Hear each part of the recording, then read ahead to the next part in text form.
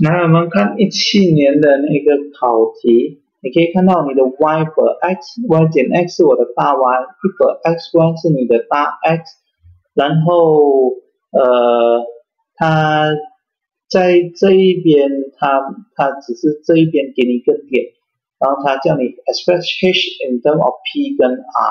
就是说我的 h in terms of a function of p and r 这样的一种东西，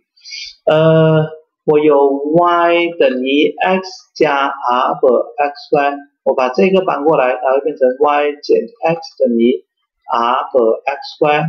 然后你可以看到 y 减 x 是我的大 y 嘛，所以 y 减 x 等于 r 一和 xy 这样的一种东西。OK，so 在这一边这个 h 和二跟五 p 代表的是什么意思呢？这个其实是我的大 y，逗号大 x，所以我的这一个一百 xy 是 h 和二，然后还有这一个是五 p，所以我的五 p 等于 r，然后 h 和二，然后它现在要的是 h 哦，所以我把我的五 p 乘二除 r 会是等于 h，